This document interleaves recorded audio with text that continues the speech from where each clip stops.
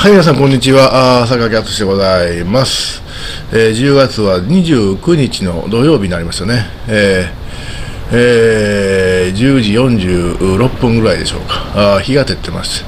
この秋ですね、晴れてる日少ないですね。えー、今日はもう窓を全部開けました。えー、温度はですね、この部屋の中20度、ちょうどいいですね、これが。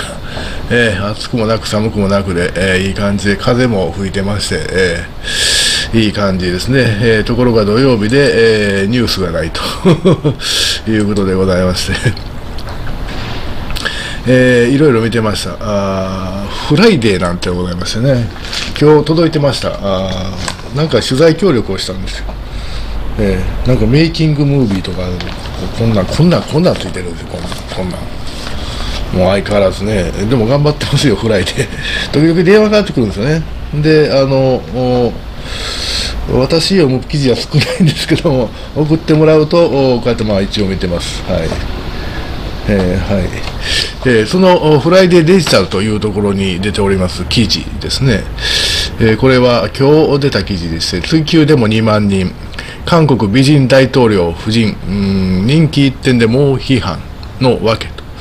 あの、ユン・ソンニョルさん5月に就任なさいまして、奥様がキム・ゴンヒさんとおっしゃって、まあ、綺麗なお方ですね。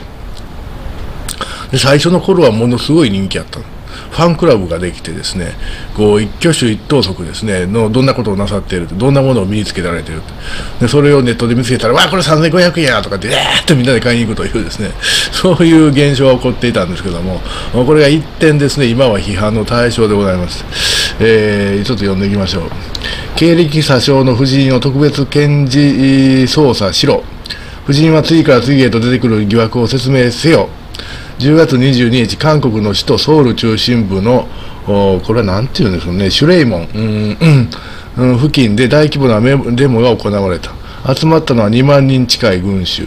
主催したのは左派グループ、ろうそく勝利転換運動で、ユン・ソンニョル61大統領の政権球団集会が開かれた。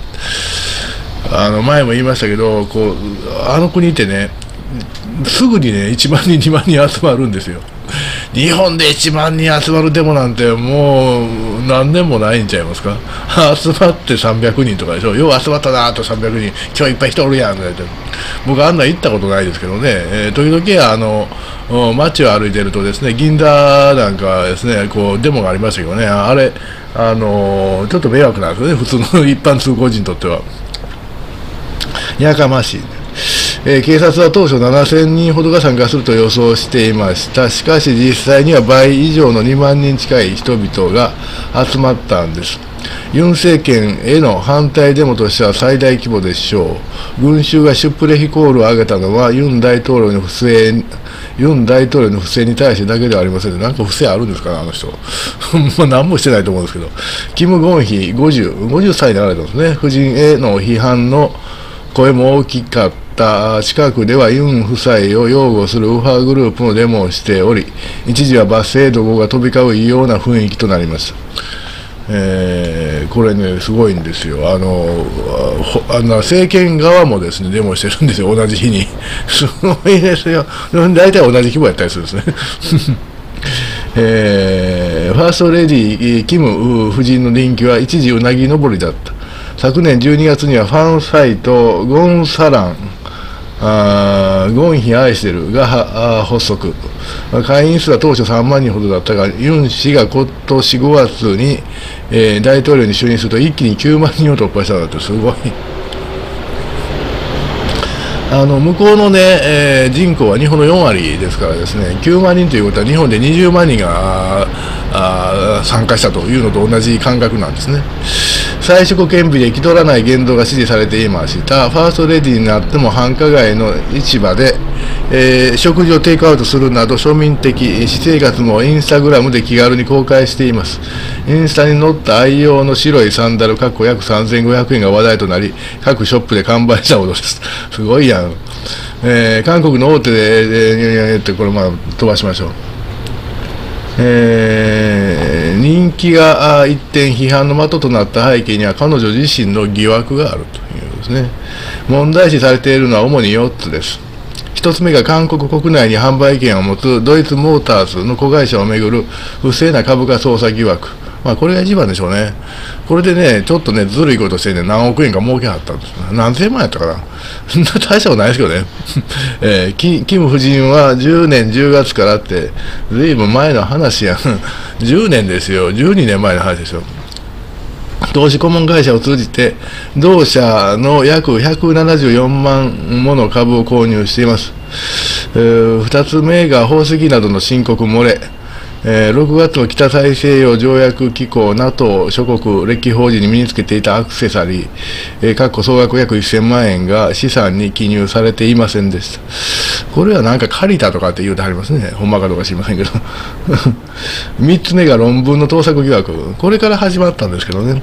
韓国私立大学教授会連合会などが国民大学テクノデザイン専門大学院で博士号を受けた論文が盗作ではないかと指摘。国民大学の不正はないという主張に異を唱えています。うん、なんか博士号持った話ね、偉いやん。えー、4つ目が外国訪問時の民間人同行。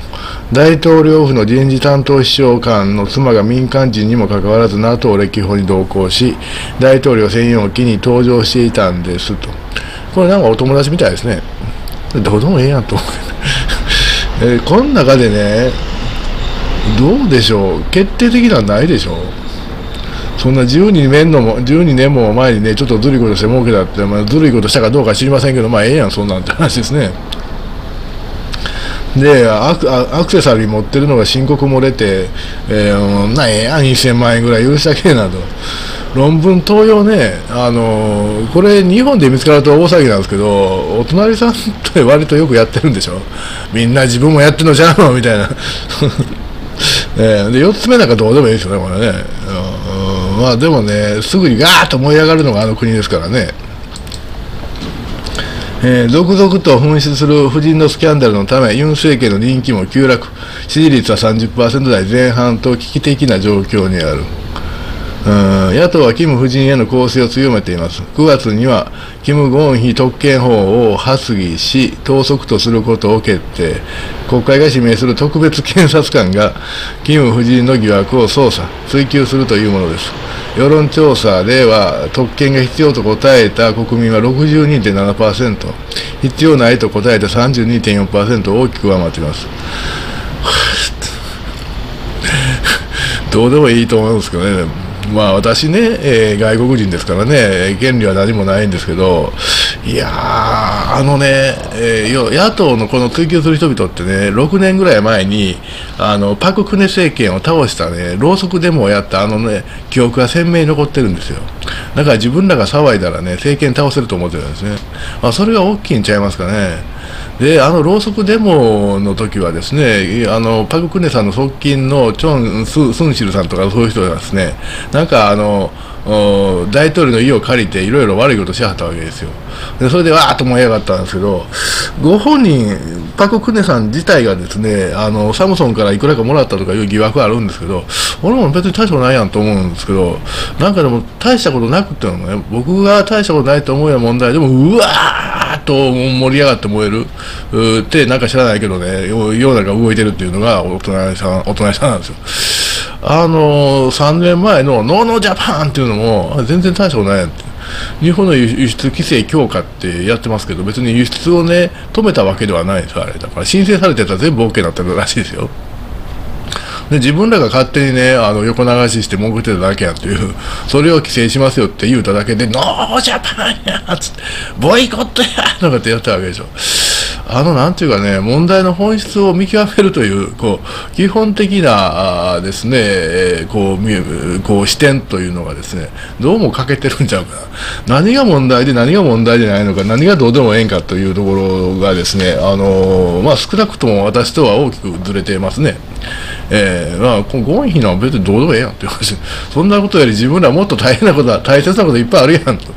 と思うんですけどね、あのまあまあでもね、えー、大騒ぎをしたい、大騒ぎが好きな国というふうにこう私は見てしまいますね、そんなんで2万人も街に出るんですよ。なんか中高生がですね、先生に言われて借り出されてるっていう、まあ、向こうもね、日教組みたいなのがあってね、もう、もう、もう、もう、もう、もうクレイジーなんですよ。えー借り出されるという話もありますけどね、あまあでも、まあでもね、ニュースとしては、まあまあそれなりに、まあ読んで笑えるかなという感じですね。このフライデーの1ページ目は一応貼っておきます。はい、皆さんどうもありがとうございました。